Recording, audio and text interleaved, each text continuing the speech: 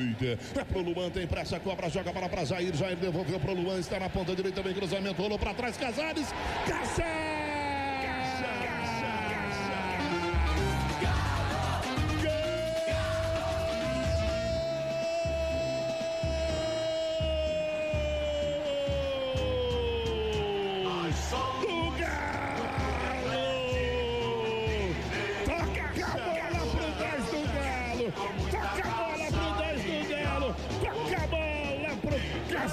Que ele faz no fundo do barbante, no cruzamento da direita do Luan. Ela veio no capricho, o cruzamento com inteligência, não rifou a bola. O Luan olhou para dentro da grande área para ver a chegada do Casares, o 10 do Galo. Estava à vontade no salão de festas, ele chegou de cara pro vento, sem lenço e sem documento e cravou no fundo do barbante do canto esquerdo, inapelável pro Renan, inapelável pro Renan. É gol do Galo, é gol do Galo, a caminho das semifinais, Ponte.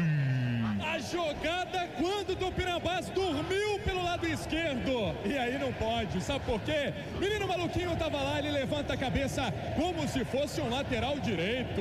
Ele colocou na medida e ele de prima, de primeira, o O Anito Casares. Hoje, hoje é dia de gol Casares para fazer o momento bonito do jogo. Olha o Galo na frente, 1 a 0. Ela chega pro Bolt, o Bolt domina mais pra cima da marcação, ainda o Bolt só rolou pro Casares, pintou um golaço. Caixa!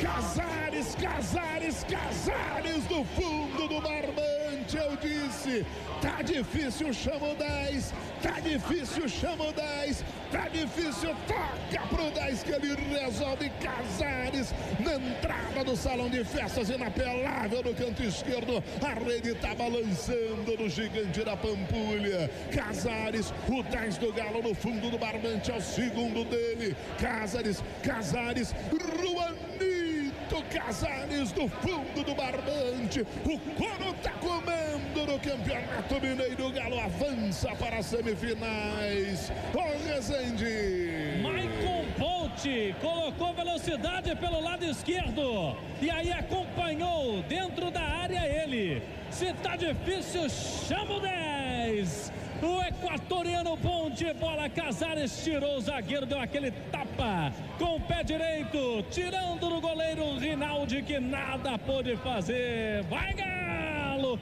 vai Galo, canta alto pra massa ouvir de novo ele, Casares. Galo muito próximo da semifinal, dois.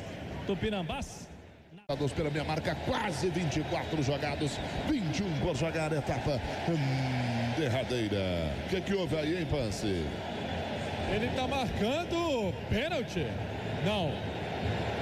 Tá marcando pênalti. Tá marcando pênalti. Primeiro, vai pra bola, Demilson, atenção, lentamente, bateu, caixa!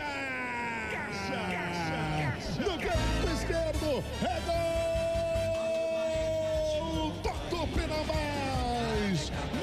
esquerdo, na cobrança do Ademilson. Ele esperou o Vitor, escolha no canto. O goleirão do Galo foi pro canto direito. Ele colocou no canto esquerdo, no fundo do barbante.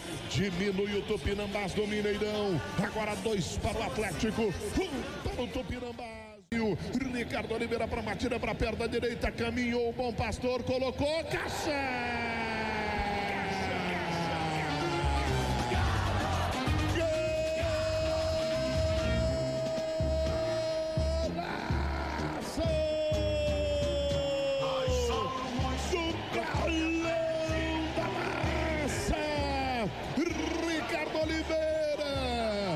caixa!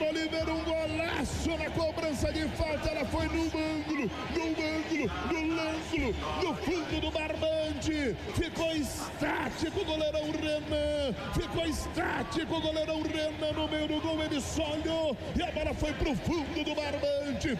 Ricardo Oliveira, o meu bom nada me faltará. Ricardo Oliveira fundo do gol, chacoalha, chacoalha, levanta, deixa feliz a torcida atleticana aqui no Mineirão. Parabéns para você nesta data massa. É do Galo, é dessa torcida sofrida, mas muito feliz de ser apaixonada com o galão querido. Bica bicudo, bica bicudo. Ricardo Oliveira fecha o caixão do Tupinambás 3 a 1 Resende. Gol da insistência do centroavante, que já tinha chutado na trave, já tinha goleirão feito um milagre. Agora por cima da barreira na falta, como manda o figurino.